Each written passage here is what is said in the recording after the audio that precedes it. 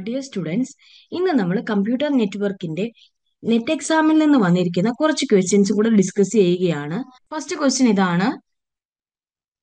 We have to host host A and host B okay നമുക്ക് ആദ്യം question ഒന്ന് നോക്കാം. അതിനുശേഷം ഞാനത് എക്സ്പ്ലെയിൻ ചെയ്യാം. എന്താ ക്വസ്റ്റ്യൻ എന്നുള്ളത് എക്സ്പ്ലെയിൻ ചെയ്യാം. Host A which is on TCP IP version 4 network A datagram an IP datagram to host B which is also on TCP IP version 4 network B. Assume that no error occurred during the transmission of datagram D. When the datagram D reaches uh, the destination B, which of the following IP header fields may be different from that of the original datagram D? അതായത് നമ്മളുടെ ക്വസ്റ്റ്യനിൽ പറയുന്നതാണ് ഈ ക്വസ്റ്റ്യനകത്ത് നമുക്ക് ഇവിടെ ഒരു network ഉണ്ട് that is network A and we have an another network B. Network എയിലെ ഒരു ഡിവൈസ് ആണ് host A at the same time network ബിയിൽ ഒരു ഡിവൈസ് ആണ് host B and these two network are connected suppose host എയിൽ നിന്ന് host ബിയിലോട്ട് ഒരു datagram നമ്മൾ സെൻഡ് ചെയ്യുകയാണ് ആ ഡേറ്റാഗ്രാം സെൻഡ് ചെയ്യുമ്പോൾ നമ്മൾ അതിൽ എൻഷുർ ചെയ്യുകയാണ് there is no error occurred during the transmission of that datagram അങ്ങനാണ് എങ്കിൽ which of the following field അല്ലെങ്കിൽ നമ്മൾ ക്വസ്റ്റ്യനിൽ ഒരു മൂന്ന് ഓപ്ഷൻസ് അല്ലെങ്കിൽ മൂന്ന് ഫീൽഡുകൾ തന്നിട്ടുണ്ട്. ഐ പി ഹെഡറിൽ വരുന്ന മൂന്ന് ഫീൽഡുകളാണ്. അത് ഏതൊക്കെ ഫീൽഡുകളാണ് ചേഞ്ചസ് ആവുന്നത് അല്ലെങ്കിൽ ഡിഫറെന്റ് ആകുന്നത് എന്നാണ് ചോദിക്കുന്നത്. നമുക്കറിയാം നമ്മുടെ ഒ എസ് ഐ മോഡലിൽ സെവൻ ലെയേഴ്സ് ആണുള്ളത്. അതിൽ ഓരോ ലെയറിലൂടെയും ഡേറ്റ മൂവ് ചെയ്ത് പോകുമ്പോഴും ഓരോ ലെയറിന്റെയും ഇൻഫോർമേഷൻ ആഡ് ചെയ്യുന്നു നമ്മൾ പറഞ്ഞു. അതായത് ഹെഡർ ഇൻഫോർമേഷൻ ആഡ് ചെയ്യുന്നു പറഞ്ഞു. അപ്പോൾ നെറ്റ്വർക്ക് ലെയറിൽ എത്തുമ്പോൾ നെറ്റ്വർക്ക് ഹെഡർ ഇൻഫോർമേഷൻ അല്ല അതായത് ഐ പി ഹെഡർ ആണ് നമ്മൾ ഡേറ്റയുടെ കൂടെ ആഡ് ചെയ്യുന്നത്. ഓക്കെ അപ്പൊ അങ്ങനെ ആഡ് ചെയ്യുന്ന ആ ഹെഡർ സ്ട്രക്ചറിന് ഒരു പർട്ടിക്കുലർ ഫീൽഡുകൾ ഉണ്ട് അതിനൊരു പർട്ടിക്കുലർ സ്ട്രക്ചർ ഉണ്ട് ഹെഡറിന് അതിൽ കുറേ അധികം ഫീൽഡുകൾ ഉണ്ടാവും. അതിലെ മൂന്ന് ഫീൽഡുകൾ മാത്രമാണ് നമ്മുടെ ക്വസ്റ്റ്യനിൽ തന്നിരിക്കുന്നത്. ഇനി നമ്മൾ ഈ ഫീൽഡുകൾ എന്തൊക്കെയാണെന്ന് നോക്കാം. ടി ടി എൽ എന്ന് പറഞ്ഞാൽ ടൈം ടു ലീവ് ചെക്സം എന്ന് പറഞ്ഞാൽ നമുക്ക് ഓൾറെഡി അറിയാം. എറർ കറക്ഷന് എറർ ഡിറ്റക്ഷന് വേണ്ടി യൂസ് ചെയ്യുന്ന ഒരു മെക്കാനിസം ആണ് ചെക്സം എന്ന് പറയുന്നത്. ഫ്രാഗ്മെന്റ് ഓഫ്സെറ്റ് എന്ന് പറഞ്ഞു കഴിഞ്ഞാൽ നമുക്ക് അഫോർഡബിൾ അല്ലാത്ത ഒരു ഡേറ്റാഗ്രാം സൈസ് ആണ് എങ്കിൽ നമ്മൾ അതിനെ എന്ത് ചെയ്യുന്നു? ഫ്രാഗ്മെന്റ് ചെയ്യുന്നു. ഓക്കെ ഡിവൈഡ് ചെയ്യുന്നു. അതാണ് ഫ്രാഗ്മെന്റ് എന്ന് ഉദ്ദേശിക്കുന്നത്. ഇനി ടി ടി എൽ എന്ന് പറഞ്ഞു കഴിഞ്ഞാൽ നമുക്ക് മനസ്സിലാക്കേണ്ട ഒരു കാര്യം നമ്മളുടെ നെറ്റ്വർക്കിൽ നമ്മളുടെ ഒരു ഡേറ്റാഗ്രാമിന്റെ ലൈഫ് ടൈം എന്ന് പറയുന്നത് വൺ എയ്റ്റി സെക്കൻഡ് ആയിരിക്കും. വൺ എയ്റ്റി സെക്കൻഡ് കഴിഞ്ഞു കഴിഞ്ഞാൽ ഈ ഒരു ഡേറ്റാഗ്രാം നമ്മുടെ നെറ്റ്വർക്കിൽ ടൈം ടു ലീവിന്റെ വാല്യൂ സീറോ അല്ലാത്തൊരു വാല്യൂ ആണ് എങ്കിൽ നമ്മൾ ഒബ്വിയസ്ലി അതിനെ ഡിസ്കാർഡ് ചെയ്ത് കളയും. അതായത് വൺ എയ്റ്റി സെക്കൻഡിന് ആണ് മാക്സിമം ലൈഫ് ടൈം നമ്മൾ ഇട്ടിരിക്കുന്നത്.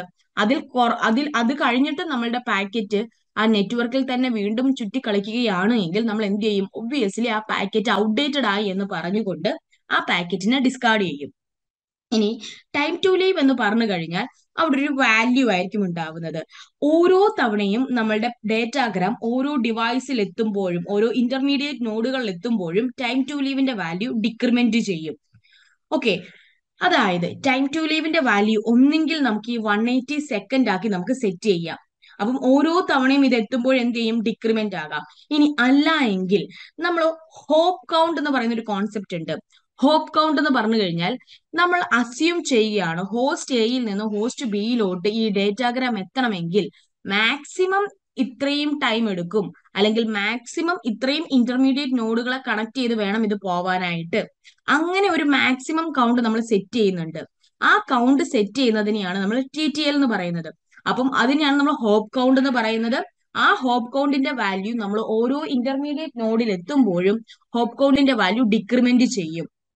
അപ്പോ വൺസ് ടി ടി എല്ലിന്റെ വാല്യൂ സീറോ ആയി കഴിഞ്ഞാൽ അതിന്റെ മീനിങ് എന്താണ്? അത് ഡെസ്റ്റിനേഷനിൽ എത്തി എന്നാണ് അതിന്റെ മീനിങ് പക്ഷെ ഡെസ്റ്റിനേഷനിൽ എത്തിയിട്ടില്ല എങ്കിൽ ടി ടി എല്ലിന്റെ വാല്യൂ സീറോ ആകുമ്പോൾ അത് ഡെസ്റ്റിനേഷനിൽ എത്തണം. അല്ല എങ്കിൽ അതെന്ത് ചെയ്യണം? ഔട്ട്ഡേറ്റഡ് ആയിട്ടുള്ള ഒരു പാക്കറ്റ് ആണ് നമ്മൾ ഡിസ്കാർഡ് ചെയ്ത് കളയും. ഓക്കെ അപ്പം ടി ടി എൽ എന്ന് ഉദ്ദേശിക്കുന്നത് എത്രത്തോളം ടൈം എടുക്കും അത്? മാക്സിമം ഇട്ടിട്ടാണ് നമ്മൾ പറയുന്നത്. അപ്പൊ എത്രത്തോളം ടൈം എടുക്കും അത് ഡെസ്റ്റിനേഷനിൽ എത്താനായിട്ട്? അല്ലെങ്കിൽ എത്രത്തോളം ഇന്റർമീഡിയറ്റ് നോഡുകളെ അത് കണക്ട് ചെയ്ത് പോവേണ്ടി വരും ഡെസ്റ്റിനേഷനിൽ എത്താനായിട്ട്? അതിന്റെ ഒരു കൗണ്ട് ആണ് ടി ടി എല്ലിൽ കൊടുക്കുന്നത്. അപ്പോ ഇവിടെ മനസ്സിലാക്കേണ്ട ഒരു കാര്യം ഓരോ തവണയും ഇന്റർമീഡിയറ്റ് നോഡുകളിലൂടെ പോകുമ്പോഴും ടി ടി എല്ലിന്റെ വാല്യൂ ഡിക്രിമെന്റ് ചെയ്യും. സോ അതുകൊണ്ട് നമുക്ക് പറയാൻ പറ്റും ഇനിഷ്യൽ കേസിൽ ടി ടി എൽ വാല്യൂ ആയിരിക്കില്ല ഓരോ ഇന്റർമീഡിയറ്റ് നോഡുകളിലൂടെ പോകുമ്പോഴും ഉള്ള ടി ടി എല്ലിന്റെ value it should different from each node അതുപോലെ തന്നെ ചെക്സം ചെക്സം എന്ന് പറഞ്ഞു കഴിഞ്ഞാൽ എറർ ഡിറ്റക്ഷന് വേണ്ടി യൂസ് ചെയ്യുന്ന ഒരു മെക്കാനിസം അല്ലെങ്കിൽ ഒരു കോൺസെപ്റ്റ് ആണ് ചെക്സം നമ്മൾ ചെക്സം കാൽക്കുലേറ്റ് ചെയ്യുന്നത് ഓരോ ഇന്റർമീഡിയറ്റ് നോഡുകൾ എത്തുമ്പോഴും അതായത് ഇന്റർമീഡിയറ്റ് നോഡ് എന്ന് പറയുന്നത് ചിലപ്പോൾ ഒരു റൗട്ടർ ആവാം. ഒരു ചിലപ്പോൾ വേറൊരു പർട്ടിക്കുലർ നെറ്റ്വർക്കിംഗ് ഡിവൈസ് ആവാം. അപ്പം ഓരോ ഇന്റർമീഡിയറ്റ് നോഡുകളിൽ എത്തുമ്പോഴും ഈ ഹെഡർ എന്ത് ചെയ്യും? ഈ ഹെഡറിന്റെ ചെക്സം കാൽക്കുലേറ്റ് ചെയ്യും. അതായത് ഉള്ള ഫീൽഡുകൾ വെച്ചിട്ടുള്ള ഒരു ചെക്സം കാൽക്കുലേറ്റ് ചെയ്യും. ഹെഡറിന്റെ ഐ പി വെർഷൻ അതായത് I P version four header structure നമുക്ക് പഠിക്കാനായിട്ടുണ്ട്. അപ്പോ നമ്മൾ ടി സി പി ഐ പിയുടെ ടി സി പി പ്രോട്ടോകോളിന്റെ ഹെഡർ സ്ട്രക്ചർ നമ്മൾ പഠിച്ചിട്ടുണ്ടായിരുന്നു. അതുപോലെ തന്നെയാണ് ഐ പി വെർഷൻ ഫോറിന്റെയും ഹെഡർ സ്ട്രക്ചർ അത് നമുക്ക് അടുത്തൊരു ക്ലാസ് എന്താണെന്ന് നമുക്ക് ഇൻഡെപ്ത് ആയിട്ട് നോക്കാം. അതിന് മുന്നോടിയായിട്ട് മനസ്സിലാക്കേണ്ടത് ഇപ്പൊ ഒരു ഇതായിരിക്കാം നമ്മുടെ ഒരു ഹെഡർ സ്ട്രക്ചർ ഇതിൽ കുറെ ഫീൽഡുകൾ ഉണ്ട് ഓക്കെ ഇതിൽ നമുക്ക് കുറെ ഫീൽഡുകൾ ഉണ്ട് ഞാനിപ്പോ ഇങ്ങനെ ഒരു റഫ് ആയിട്ടൊരു ഫിഗർ വരയ്ക്കുകയാണ്. നമുക്കറിയാം ടി ടി എൽ എന്ന് പറയുന്ന ഫീൽഡ് ഓരോ തവണയും എന്ത് ചെയ്യും? ഡിക്രിമെന്റ് ചെയ്ത് പൊക്കോണ്ടേയിരിക്കും അതോടൊപ്പം തന്നെ ഈ ഒരു ഹെഡർ അടുത്തൊരു ഡിവൈസിൽ എത്തുമ്പോൾ സോറി അടുത്തൊരു ഡിവൈസിൽ എത്തുമ്പോഴും ഇവിടെ എന്ത് സംഭവിക്കും? ഇവിടെ നമ്മൾ ചെക്സം വീണ്ടും റീകാൽക്കുലേറ്റ് ചെയ്യും. അപ്പം ആദ്യത്തെ കേസിൽ ടി ടി എല്ലിന്റെ വാല്യൂ ചിലപ്പം എയ്റ്റി ആവാം. ഓക്കെ അടുത്ത കേസിൽ ടി ടി എല്ലിന്റെ വാല്യൂ സെവന്റി നയൻ ആകാം. ഈ സെവന്റി നയൻ ആകുമ്പോഴാണ് അടുത്ത ചെക്സം നമ്മൾ കാൽക്കുലേറ്റ് ചെയ്യുന്നത്. അപ്പോ ഇവിടെ കിട്ടിയ ചെക്സം ആയിരിക്കില്ല ഇവിടെ കിട്ടുന്നത്. കാരണം എന്താണ്? ഈ ചെക്സം കാൽക്കുലേറ്റ് ചെയ്യുന്നത് നമ്മൾ ഈ ഐ പി ഹെഡറിലുള്ള ബാക്കിയുള്ള ഫീൽഡുകൾ യൂസ് ചെയ്തിട്ടായിരിക്കും. അപ്പൊ ബാക്കിയുള്ള ഫീൽഡുകളെ യൂസ് ചെയ്തിട്ട് നമ്മൾ ചെക്സം കാൽക്കുലേറ്റ് ചെയ്യുമ്പോൾ ടി വാല്യൂ മാറിയത് കൊണ്ട് ഒബ്വിയസ്ലി ചെക്സവും ഓരോ തവണയും കാൽക്കുലേറ്റ് ചെയ്യുന്നത് ഡിഫറെന്റ് ആയിരിക്കും. ഓക്കെ അപ്പോ ടി ടി എല്ലും ചെക്സമും ഡിഫറെന്റ് ആണെന്ന് നമുക്ക് മനസ്സിലായി. ഇനി fragment offset fragment offset എന്ന് പറഞ്ഞു കഴിഞ്ഞാൽ നമ്മൾ പറയുകയാണ് നമുക്ക് ഈ ഒരു നെറ്റ്വർക്കിലൂടെ അതായത് ഈ ഒരു നെറ്റ്വർക്കിലൂടെ ഒരു ഡിവൈസ് ഒരു ഡാറ്റാഗ്രാം കടന്നു പോകണമെങ്കിൽ ഇതിന്റെ maximum transfer unit okay maximum transfer unit എന്ന് പറയുന്നത് അതായത് മാക്സിമം ഇതിൽ കൂടെ കടന്നു പോകാൻ പറ്റുന്ന അല്ലെങ്കിൽ എനിക്ക് അക്കോമഡേറ്റ് ചെയ്യാൻ പറ്റുന്ന ഒരു ഡേറ്റാഗ്രാമിന്റെ സൈസ് ഫൈവ് ഹൺഡ്രഡ് ബൈറ്റ്സ് ആണ് എന്ന് അസ്യൂം ചെയ്യുക. ഓക്കെ അപ്പൊ ഈ ഫൈവ് ഹൺഡ്രഡ് ബൈറ്റ്സ് ആണ് എങ്കിൽ ഓക്കെ ഇതുവഴി പോകും. അല്ലാത്ത പക്ഷം ഇവിടെ ഒരു റൗട്ടർ ഉണ്ടാകാം. ഓക്കെ ഇവിടെ ഒരു ഇന്റർമീഡിയറ്റ് ആയിട്ട് ഒരു റൗട്ടർ ഉണ്ട്. ഈ റൗട്ടർ പറയാണ് എനിക്ക് എന്റെ maximum transfer unit two hundred byte ആണ്. ഓക്കെ അപ്പൊ ഇനി എന്താ ചെയ്യുന്നത്? ഈ ഫൈവ് ഹൺഡ്രഡിനെ സ്പ്ലിറ്റ് ചെയ്യാൻ പോവാണ്. എന്തൊക്കെയായിട്ടാ സ്പ്ലിറ്റ് ചെയ്യുന്നത്? Two hundred two hundred hundred ആയിട്ട് നമ്മൾ സ്പ്ലിറ്റ് ചെയ്യും. മൂന്നെണ്ണായിട്ട് നമ്മൾ സ്പ്ലിറ്റ് ചെയ്യും. അതായത് നമ്മളുടെ ഡേറ്റയെ നമ്മൾ എന്താക്കി സ്പ്ലിറ്റ് ചെയ്തു? മൂന്ന് കോമ്പണന്റ് ആക്കി സ്പ്ലിറ്റ് ചെയ്തു. അപ്പോൾ ഇന്റർമീഡിയറ്റ് ആയിട്ട് എവിടെയെങ്കിലും പോകുന്ന വഴിക്ക് നമ്മുടെ മാക്സിമം ട്രാൻസ്ഫർ യൂണിറ്റ് ഡേറ്റാഗ്രാം സൈസിനെക്കാട്ടിലും കുറവാണ് എങ്കിൽ നമുക്ക് എന്ത് ചെയ്യണം? ഫ്രാഗ്മെന്റേഷൻ നടത്തിയേ പറ്റൂ. ഓക്കെ അങ്ങനെ ഫ്രാഗ്മെന്റേഷൻ നടത്തുമ്പോൾ ആ വാല്യൂ ഫ്രാഗ്മെന്റേഷൻ ഓഫ്സെറ്റിന്റെ വാല്യൂം ചേഞ്ച് ചെയ്യും. അപ്പം ഈ പറയുന്ന മൂന്ന് ഫീൽഡുകളും നമുക്ക് ചേഞ്ച് ചെയ്യാനുള്ള പോസിബിലിറ്റി ഉണ്ട്. സോ നമ്മുടെ ക്വസ്റ്റ്യനിനകത്ത് ചോദിച്ചേക്കുന്നത് which of the following I P header field may be different from that of the original datagram D എന്നാണ് ചോദിച്ചേക്കുന്നത്. ഈ മൂന്ന് ഫീൽഡും ചേഞ്ച് ചെയ്യുന്നത് കൊണ്ട് ഓപ്ഷൻ ഡി ആയിരിക്കും റൈറ്റ് ആൻസർ ഓക്കെ ക്വസ്റ്റിന്റെ ആൻസർ ക്ലിയർ ആയെന്ന് വിചാരിക്കുന്നു. നെക്സ്റ്റ് ക്വസ്റ്റ്യനിലോട്ട് പോവാം. നെക്സ്റ്റ് ക്വസ്റ്റ്യൻ ഇതാണ്. The following pairs of OSI protocol layer sub layer and its functionality the incorrect pair is അതായത് ഒ എസ് ഐയിൽ സെവൻ ലെയേഴ്സും അതിന് ഓരോ ലെയറിനെയും ഫങ്ഷണാലിറ്റി നമ്മൾ കഴിഞ്ഞ ക്ലാസ്സുകളിലായിട്ടൊക്കെ നോക്കിയിട്ടുണ്ടായിരുന്നു. അങ്ങനെ നോക്കുമ്പോൾ നെറ്റ്വർക്ക് ലെയറിന്റെ ഫങ്ഷണാലിറ്റി ആയിട്ട് മാപ്പ് ചെയ്തിരിക്കുന്നത് കറക്റ്റ് ആണോ? നെറ്റ്വർക്ക് ലെയറിന്റെ ഫംഗ്ഷനാലിറ്റി ഒരെണ്ണം റൂട്ടിംഗ് തന്നെയാണ്. ഇത് കറക്റ്റ് ആണ് അല്ലേ? ട്രാൻസ്പോർട്ട് ലെയർ ട്രാൻസ്പോർട്ട് ലെയറിന്റെ ഫംഗ്ഷനാലിറ്റി എന്താണ്? It provide an end to end process communication അതും കറക്റ്റ് ആണ്. ഡേറ്റ ലിങ്ക് ലെയറിന്റെ ഫംഗ്ഷനാലിറ്റി എന്താണ്? ഡേറ്റ ലിങ്ക് ലെയറിന്റെ ഫംഗ്ഷനാലിറ്റി എന്ന് പറയുന്നത് ഫ്രെയിമിംഗ് ഒരു ഫംഗ്ഷനാലിറ്റി ആണ്. ഓക്കെ അതുപോലെ തന്നെ error correct error control error control ഒരു ഫംഗ്ഷനാലിറ്റി ആണ്. അതുപോലെ തന്നെ ഫ്ലോ കൺട്രോൾ ഒരു ഫങ്ഷണാലിറ്റി ആണ്. അതുപോലെ തന്നെ ഫിസിക്കൽ അഡ്രസ്സിങ് ഫിസിക്കൽ അഡ്രസ് ഒരു ഫംഗ്ഷനാലിറ്റി ആണ്. അപ്പം ഇതെല്ലാമാണ് ഡേറ്റ ലിങ്ക് ലെയറിന്റെ ഫംഗ്ഷനാലിറ്റി ആയിട്ട് വരുന്നത്. എന്നാൽ ബിറ്റ് സിങ്ക്രണൈസേഷൻ എന്ന് പറയുന്നത് ഫിസിക്കൽ ലെയറിന്റെ ഫംഗ്ഷനാലിറ്റി ആണ്. അതുപോലെ തന്നെ MAC sub layer MAC sub layer എന്ന് പറഞ്ഞാൽ നമുക്കറിയാം ഡേറ്റ ലിങ്ക് ലെയറിനെ രണ്ടായിട്ട് നമ്മൾ സ്പ്ലിറ്റ് ചെയ്തിട്ടുണ്ട്. Logic link control sub layer എന്നും മീഡിയം ആക്സസ് കൺട്രോൾ സപ്ലയർ എന്നും ഡിവൈഡ് ചെയ്തിട്ടുണ്ട്. അപ്പോൾ മാക്സ് സപ്ലയറിന്റെ ഫംഗ്ഷനാലിറ്റി എന്താണ്? ചാനൽ ഷെയറിംഗ് ആണ്. അതായത് നമുക്കൊരു സിംഗിൾ ചാനൽ കാണും. ആ ചാനൽ മൾട്ടിപ്പിൾ ഡിവൈസുകളായിരിക്കും ഷെയർ ചെയ്തേക്കുന്നത്. ഓക്കെ അപ്പം ആ മൾട്ടിപ്പിൾ ഡിവൈസുകൾ ഷെയർ ചെയ്തിരിക്കുന്ന ഈ സിംഗിൾ ചാനലിനെ അലോക്കേറ്റ് ചെയ്യുന്നതും ഡിയലോക്കേറ്റ് ചെയ്യുന്നതും എല്ലാം മാക്സ് സപ്ലയർ യൂസ് ചെയ്തിട്ടാണ്. ഓക്കെ അപ്പൊ ഈ ഒരു ഫംഗ്ഷനാലിറ്റിയും കറക്റ്റ് ആണ്. ഇതും കറക്റ്റ് ആണ്. അപ്പൊ തെറ്റായിട്ട് വന്നിരിക്കുന്ന എന്താണ്? ഡേറ്റ ലിങ്ക് ലെയർ ആണ്. ഡേറ്റ ലിങ്ക് ലെയറിന്റെ ഫംഗ്ഷനാലിറ്റി എന്ന് പറയുന്നത് ഞാൻ ഈ എഴുതിയിരിക്കുന്നതൊക്കെയാണ് ഡേറ്റ ലിങ്ക് ലെയറിന്റെ ഫംഗ്ഷനാലിറ്റി എന്നാൽ ബിറ്റ് സിങ്ക്രണൈസേഷൻ എന്ന് പറയുന്നത് ഫിസിക്കൽ ലെയറിന്റെ ഫംഗ്ഷനാലിറ്റി ആയിട്ടാണ് വരുന്നത്. സോ ഇവിടെ ഇൻകറക്റ്റ് ആയിട്ടുള്ള പെയർ എന്ന് പറയുന്നത് ഓപ്ഷൻ സി ആണ്. ഓക്കെ നെക്സ്റ്റ് ക്വസ്റ്റ്യനിലോട്ട് പോവാം. Assume that source S and destination D are connected through two intermediate routers labelled R. Determine how many times each packet has to visit the network layer and the data link layer during the transmission from S to D. അതായത് എസും ഡിയും രണ്ട് device ആണ്. എസിൽ നിന്ന് ഡിയിലോട്ട് ഒരു message അയക്കുമ്പോൾ രണ്ട് ഇന്റർമീഡിയറ്റ് ആയിട്ടുള്ള റൗട്ടേഴ്സിലൂടെയാണ് പാസ് ചെയ്ത് പോകുന്നത്. ഓക്കെ ഈ രണ്ട് റൗട്ടേഴ്സിലൂടെയാണ് പാസ് ചെയ്ത് പോകുന്നത്. So we have to find out the total number of visiting അതായത് ടോട്ടൽ ടൈംസ് ഓഫ് വിസിറ്റ് അല്ലെങ്കിൽ how many times it visit the network layer and data link layer during the transmission of data from S to D എസിൽ നിന്ന് ഡിയിലോട്ട് data send ചെയ്യുന്ന സമയത്ത് ഇതിൽ network ലെയറിലും data link ലെയറിലും എത്ര തവണ പാസ് ചെയ്ത് പോകുന്നുണ്ട് എന്നാണ് അറിയേണ്ടത്. അപ്പൊ നമുക്കറിയാം നമ്മളുടെ സോഴ്സ് സോഴ്സ് എന്ന് പറയുന്നത് നമുക്ക് അസ്യൂം ചെയ്യാം നമ്മുടെ ഓയിസ് മോഡലിനോ നമുക്ക് അസ്യൂം ചെയ്യാം. അപ്പൊ സെവൻ ലെയേഴ്സ് ഉണ്ടാകും. അപ്പൊ സെവൻ ലെയേഴ്സിൽ നമുക്കൊരു ഡേറ്റ ഇങ്ങനെ അയക്കണമെങ്കിൽ എങ്ങനെയായിരിക്കും ആ ഡേറ്റയുടെ മൂവ്മെന്റ് ഇവിടുന്ന് ഇങ്ങനെ വന്നു? ഈ റൗട്ടറിൽ കയറി ഓക്കെ റൗട്ടറിൽ ഇങ്ങനെ ഞാൻ ഈ ഒരു ആരോ മാർക്ക് ഇട്ടേക്കാം. റൗട്ടറിൽ കയറി തിരിച്ച് റൗട്ടറിൽ നിന്ന് ഇറങ്ങി. ഓക്കെ തിരിച്ച് റൗട്ടറിൽ നിന്ന് ഇറങ്ങി. വീണ്ടും റൗട്ടറിൽ കയറി ഓക്കെ വീണ്ടും റൗട്ടറിൽ നിന്ന് ഇറങ്ങി ഡെസ്റ്റിനേഷനിലോട്ട് എത്തി. ഇങ്ങനെയാണ് ഡേറ്റയുടെ മൂവ്മെന്റ് അപ്പൊ നമ്മൾ ഡേറ്റ അപ്പൊ ഇവിടെ നമുക്കൊരു നെറ്റ്വർക്ക് ലെയർ ഒരു തവണ കയറുന്നുണ്ട് ഡേറ്റ ലിങ്ക് ലെയറും ഒരു തവണ കയറുന്നുണ്ട് ഓക്കെ ഇനി റൗട്ടർ എന്ന് പറയുന്നത് ഏത് ലെയർ ഡിവൈസ് ആണ്? നെറ്റ്വർക്ക് ലെയർ ഡിവൈസ് ആണ് അല്ലെ?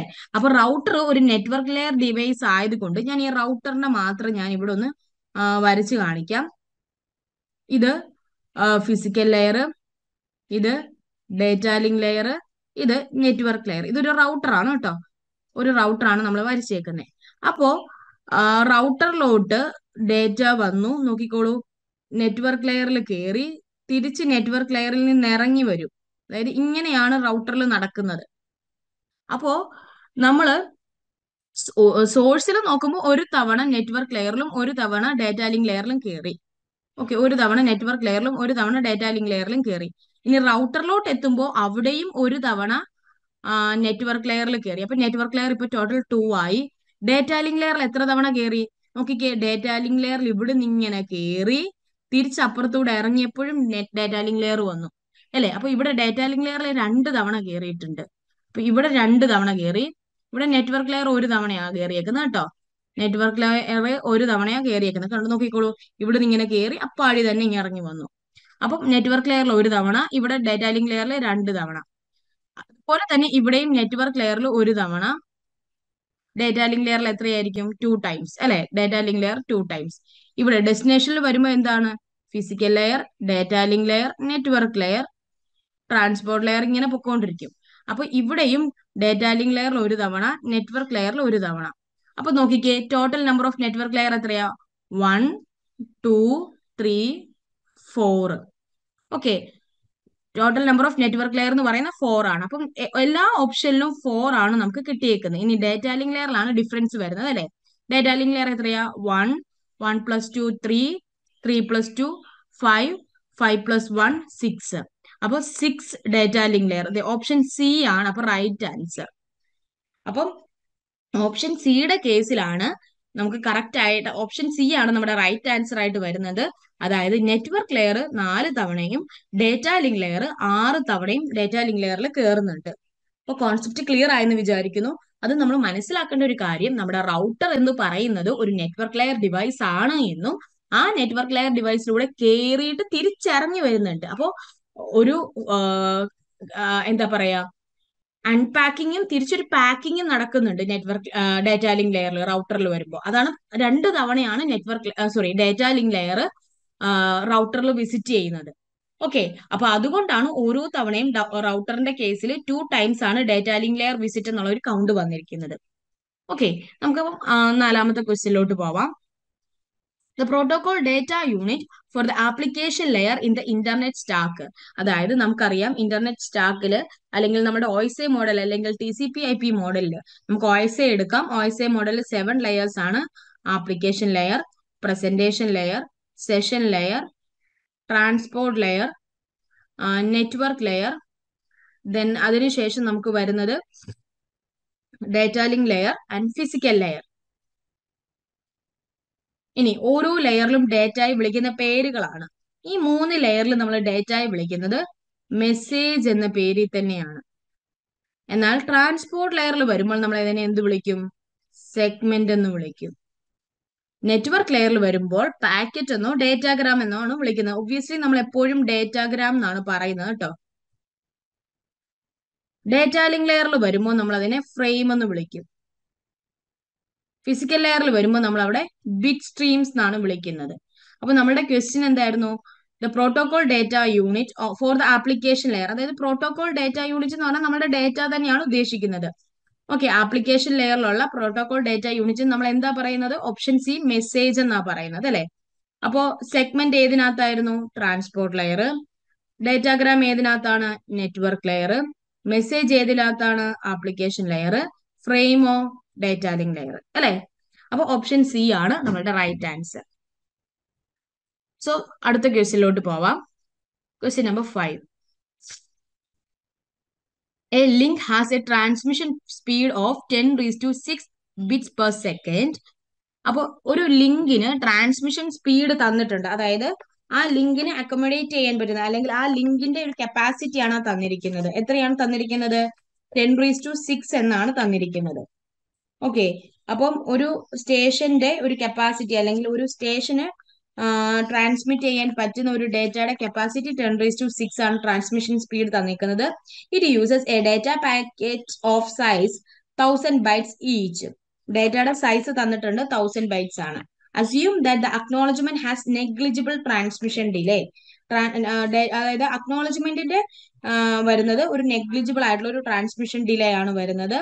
And it's a propagation delay is same as that of the data propagation delay അതായത് ഡേറ്റ പ്രൊപ്പഗേറ്റ് ചെയ്യുന്നതും അക്നോളജ്മെന്റ് പ്രൊപ്പഗേറ്റ് ചെയ്യുന്നതിനും എടുക്കുന്ന ടൈം സെയിം തന്നെയാണ്. Also assume that processing delay at the node ഓരോ നോഡിലും intermediate നോഡുകളിലാണെങ്കിൽ പോലും ഡേറ്റാനെ പ്രോസസ് ചെയ്യാൻ എടുക്കുന്ന ടൈമും നെഗ്ലിജിബിൾ ആണ്. The efficiency of the stop and wait protocol in this setup is exactly twenty five percentage value of one way propagation delay നമുക്ക് one സൈഡിലുള്ള propagation delay ആണ് കാൽക്കുലേറ്റ് ചെയ്യേണ്ടത്. അപ്പോൾ നമുക്ക് തന്നിരിക്കുന്ന വാല്യൂസ് ഒക്കെ നമുക്ക് പെട്ടെന്ന് എടുത്തെഴുതാം. അപ്പം ട്രാൻസ്മിഷൻ സ്പീഡ് തന്നിട്ടുണ്ട്. അല്ലെ? അല്ലെങ്കിൽ ട്രാൻസ്മിഷൻ സ്പീഡ് എത്രയാ തന്നിരിക്കുന്നത്?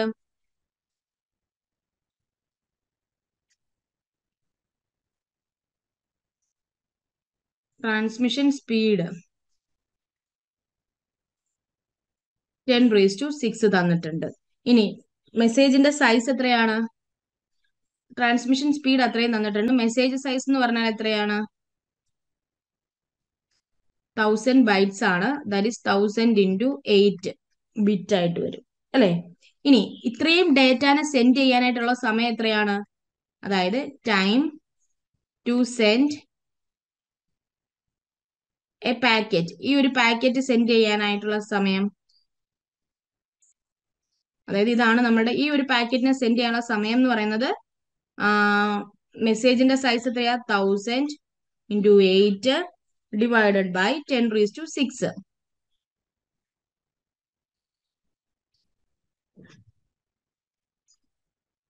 അപ്പോ നമുക്ക് eight into ten raise to minus three വരും.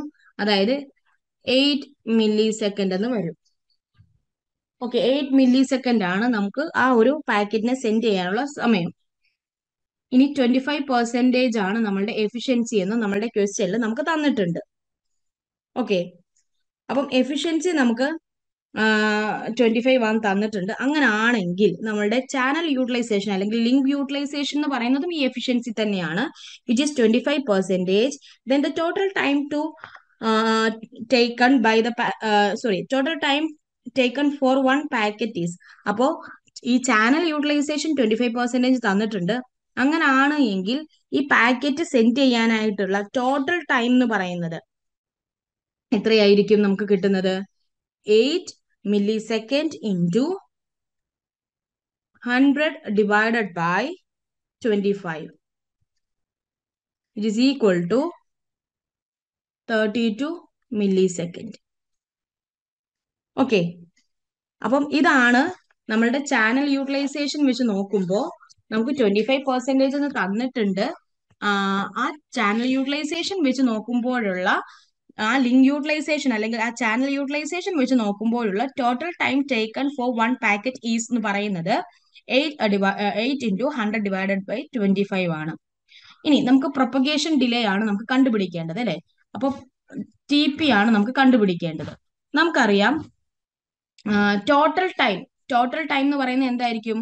ടു ടി നമുക്ക് ടി പി ആണ് കണ്ടുപിടിക്കേണ്ടത്. ടോട്ടൽ ടൈം എന്ന് പറഞ്ഞാൽ എന്താണ്? ടു ടി പി പ്ലസ് ഒരു ട്രാൻസ്മിഷൻ ടൈം ആണ് ടി ടി ഇതാണ് നമ്മുടെ ടോട്ടൽ ടൈം അല്ലേ? ഇറ്റ് ഈസ് ടോട്ടൽ ടൈം അപ്പോ ടി പി നമുക്കറിയില്ല. Two T P plus T T നമുക്കറിയാം അല്ലെ? ടൈം എത്രയാണ്? എട്ട്. എട്ടാണ് നമുക്ക് കിട്ടിയേക്കുന്നത്. എട്ട്. ഈക്വൽ ടു നമുക്ക് ഒരു പാക്കറ്റ് സെൻഡ് ചെയ്യാൻ എടുക്കുന്ന ടോട്ടൽ ടൈം ആണ്. ടോട്ടൽ ടൈം എത്രയാണ്? തേർട്ടി ടു സോ ഇതിൽ നിന്ന് നമുക്ക് ടി പി എത്ര കിട്ടും? ടി പി എന്ന് പറയുന്നത് പന്ത്രണ്ട് മില്ലി സെക്കൻഡ് കിട്ടും. സോ ഓപ്ഷൻ സി ആണ് റൈറ്റ് ആൻസർ അപ്പൊ നമ്മൾ ഇവിടെ എന്താ ചെയ്തതെന്ന് ഒന്നും കൂടെ നോക്കിക്കേ നിങ്ങൾ നമുക്ക് ട്രാൻസ്മിഷൻ ടൈം സ്പീഡ് തന്നിട്ടുണ്ടായിരുന്നു. ഓക്കെ മെസ്സേജിന്റെ സൈസും തന്നിട്ടുണ്ട്. അതിൽ നിന്ന് നമ്മൾ ട്രാൻസ്മിഷൻ ടൈം കണ്ടുപിടിച്ചു. അതാണ് എട്ട് മില്ലി സെക്കൻഡ് കിട്ടിയേക്കുന്നത്. ഇനി നമ്മളോട് പറയുന്നുണ്ട് സ്റ്റോപ്പ് ആൻഡ് വെയിറ്റ് പ്രോട്ടോകോളിൽ ട്വന്റി ഫൈവ് പെർസെന്റേജ് ആണ് എഫിഷ്യൻസി എന്ന് പറയുന്നുണ്ട്. അങ്ങനെ ട്വന്റി ഫൈവ് പെർസെന്റേജ് എഫിഷ്യൻസി ആണ് എങ്കിൽ നമ്മുടെ ടോട്ടൽ ടൈം എന്ന് പറയുന്നത് എത്രയാണ്? എട്ട് into ten divide hundred divided by twenty five അങ്ങനെ നമുക്ക് തേർട്ടി ടു ആണ് ടോട്ടൽ ടൈം കിട്ടിയേക്കുന്നത് നമ്മുടെ ടോട്ടൽ ടൈം എന്ന് പറയുന്നത് എന്താണ്? ഡേറ്റ അയക്കാനുള്ള സമയം തിരിച്ച് അക്നോളജ്മെന്റ് കിട്ടാനുള്ള സമയം ഒപ്പം ട്രാൻസ്മിറ്റ് ചെയ്തതും സമയം. അപ്പം ഡേറ്റയുടേതും അക്നോളജ്മെന്റിന്റെയും പ്രൊപ്പഗേഷൻ എന്ന് പറയുന്നത് സെയിം ആണെന്ന് പറഞ്ഞതുകൊണ്ടാണ് നമ്മൾ അവിടെ ടു ടി പി എന്ന് പറഞ്ഞിരിക്കുന്നത്. Two T P plus T T എന്ന് പറയുന്ന ട്രാൻസ്മിറ്റ് ചെയ്യാൻ എടുക്കുന്ന സമയമാണ്. അപ്പൊ അത് എട്ടാണെന്ന് കിട്ടിയിട്ടുണ്ട്. വിച്ച് ഇസ് ഈക്വൽ ടു ഇത് രണ്ടും കൂടെ ആഡ് ചെയ്യുമ്പോൾ തേർട്ടി ടു ആണെന്ന് നമ്മുടെ ക്വസ്റ്റ്യനിൽ നിന്ന് നമുക്ക് കിട്ടി. അതിൽ നിന്ന് സോൾവ് ചെയ്യുമ്പോഴാണ് ടി പിയുടെ വാല്യൂ അതായത് പ്രൊപ്പഗേഷൻ ടൈം എന്ന് പറയുന്നത് എത്ര കിട്ടുന്നത്? ട്വൽവ് ആയിട്ട് കിട്ടുന്നത്.